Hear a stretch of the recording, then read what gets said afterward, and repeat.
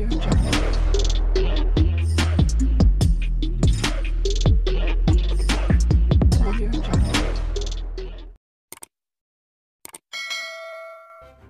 kasih karena memilih channel ini. Sebelum kita mulakan video ini, sila pertimbangkan untuk menekan butang like, share, dan subscribe, dan aktifkan butang lonceng Anda agar Anda sentiasa mendapat info-info percuma pada setiap hari dari channel kami. Dan tinggalkan komen Anda karena komen Anda amatlah dihargai. Terima kasih. Ketua Armada Partai Peribumi Bersatu Malaysia Bersatu Wan Ahmad Faisal Wan Ahmad Kamal dicabar untuk menyatakan pendiriannya menolak cadangan menaikkan gaji penjawat awam dalam belanjawan 2025 yang akan dibentangkan Desember ini. Setiausaha Agung Parti Keadilan Rakyat PKR Datuk Seri Saifuddin Nasution Ismail berkata, ahli parlimen macam itu perlu jelas dengan kenyataannya bagi membolehkan rakyat terutama pengundi di Kuala Kubu Baharu membuat keputusan nanti. Jadi saya hendak tanya Wan Ahmad Faisal, sila nyatakan pendirian tidak setuju dengan pengumuman kenaikan gaji anggota perkhidmatan awam sekarang. Sebab kita hendak tengok apabila kita bentang belanjawan nanti, apa pendiriannya sebab beliau kata kenaikan gaji hanya boleh dilaksanakan jika belanjawan diluluskan di parlimen. Saya hendak Wan Ahmad Faisal dan rakan-rakannya nyatakan beliau tidak setuju dan akan tolak belanjawan yang akan memasuki intipati mengenai kenaikan gaji penjawat awam nanti. Katanya kepada pemberita selepas selesai Majlis Sambutan Aidilfitri di Maktab PDRM Kuala Kubu Baharu di sini pada Jumaat. Beliau berkata demikian bagi mengulas mengenai kenyataan bekas Menteri Belia dan Sukan itu mengenai isu kenaikan gaji penjawat awam. Ia susulan kenyataan Wan Ahmad Faisal dalam ceramahnya sebelum ini yang mempersoalkan mengenai pengumuman kenaikan gaji penjawat awam. Perdana Menteri Datuk Seri Anwar Ibrahim pada Rabu lalu mengumumkan skim gaji penjawat awam naik lebih 13 peratus bermula 1 Desember tahun ini. Beliau berkata, kadar itu tertinggi dan terbaik dalam sejarah negara. Ketua Armada Parti Peribumi Bersatu Malaysia Bersatu Wan Ahmad Faisal Wan Ahmad Kamal dicabar untuk menyatakan pendiriannya menolak cadangan menaikkan gaji penjawat awam dalam belanjawan 2025 yang akan dibentangkan Desember ini. Setiausaha Agung Parti Keadilan Rakyat PKR Datuk Seri Saifuddin Nasution Ismail berkata, ahli parlimen macam itu perlu jelas dengan kenyataannya bagi membolehkan rakyat terutama pengundi di Kuala Kubu Baharu membuat keputusan nanti. Jadi saya hendak tanya Wan Ahmad Faisal, sila nyatakan pendirian tidak setuju dengan pengumuman kenaikan gaji anggota perkhidmatan awam sekarang. Sebab kita hendak tengok apabila kita bentang belanjawan nanti, apa pendiriannya sebab beliau kata kenaikan gaji hanya boleh dilaksanakan jika belanjawan diluluskan di parlimen. Saya hendak Wan Ahmad Faisal dan rakan-rakannya nyatakan beliau tidak setuju dan akan tolak belanjawan yang akan memasuki intipati mengenai kenaikan gaji penjawat awam nanti. Katanya kepada pemberita selepas selesai Majlis Sambutan Aidilfitri di Maktab PDRM Kuala Kubu Baharu di sini pada Jumaat. Beliau berkata demikian bagi mengulas mengenai kenyataan bekas Menteri Belia dan Sukan itu mengenai isu kenaikan gaji penjawat awam.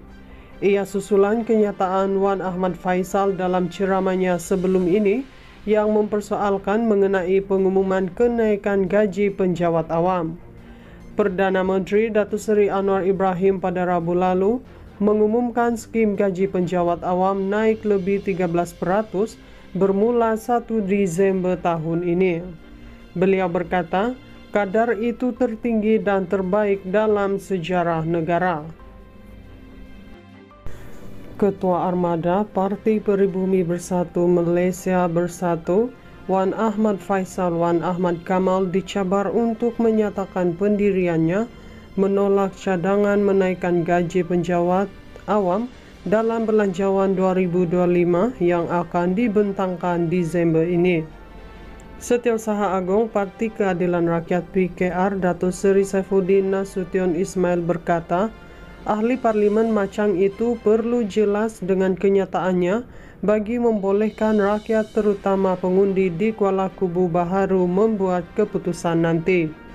Jadi saya hendak tanya Wan Ahmad Faisal, sila nyatakan pendirian tidak setuju dengan pengumuman kenaikan gaji anggota perkhidmatan awam sekarang. Sebab kita hendak tengok apabila kita bentang belanjawan nanti, apa pendiriannya sebab beliau kata kenaikan gaji hanya boleh dilaksanakan jika belanjawan diluluskan di parlimen. Saya hendak Wan Ahmad Faisal dan rakan-rakannya nyatakan beliau tidak setuju dan akan tolak belanjawan yang akan memasuki intipati mengenai kenaikan gaji penjawat awam nanti. Katanya kepada pemberita selepas selesai Majlis Sambutan Aidilfitri di Maktab PDRM Kuala Kubu Baharu di sini pada Jumaat. Beliau berkata demikian bagi mengulas mengenai kenyataan bekas Menteri Belia dan Sukan itu mengenai isu kenaikan gaji penjawat awam.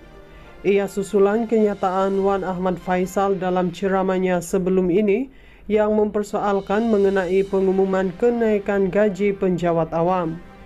Perdana Menteri Datuk Seri Anwar Ibrahim pada Rabu lalu mengumumkan skim gaji penjawat awam naik lebih 13% bermula 1 Disember tahun ini. Beliau berkata, kadar itu tertinggi dan terbaik dalam sejarah negara. Ketua Armada Parti Peribumi Bersatu Malaysia Bersatu Wan Ahmad Faisal Wan Ahmad Kamal dicabar untuk menyatakan pendiriannya menolak cadangan menaikkan gaji penjawat awam dalam belanjawan 2025 yang akan dibentangkan Desember ini. Setiausaha Agung Parti Keadilan Rakyat PKR Datuk Seri Saifuddin Nasution Ismail berkata, ahli parlimen macam itu perlu jelas dengan kenyataannya bagi membolehkan rakyat terutama pengundi di Kuala Kubu Baharu membuat keputusan nanti. Jadi saya hendak tanya Wan Ahmad Faisal, sila nyatakan pendirian tidak setuju dengan pengumuman kenaikan gaji anggota perkhidmatan awam sekarang. Sebab kita hendak tengok apabila kita bentang belanjawan nanti, apa pendiriannya sebab beliau kata kenaikan gaji hanya boleh dilaksanakan jika belanjawan diluluskan di parlimen. Saya hendak Wan Ahmad Faisal dan rakan-rakannya nyatakan beliau tidak setuju dan akan tolak belanjawan yang akan memasuki intipati mengenai kenaikan gaji penjawat awam nanti. Katanya kepada pemberita selepas selesai Majlis Sambutan Aidilfitri di Maktab PDRM Kuala Kubu Baharu di sini pada Jumaat. Beliau berkata demikian bagi mengulas mengenai kenyataan bekas Menteri Belia dan Sukan itu mengenai isu kenaikan gaji penjawat awam.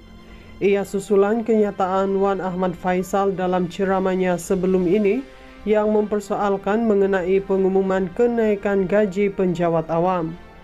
Perdana Menteri Datuk Seri Anwar Ibrahim pada Rabu lalu mengumumkan skim gaji penjawat awam naik lebih 13 peratus bermula 1 Desember tahun ini. Beliau berkata, kadar itu tertinggi dan terbaik dalam sejarah negara.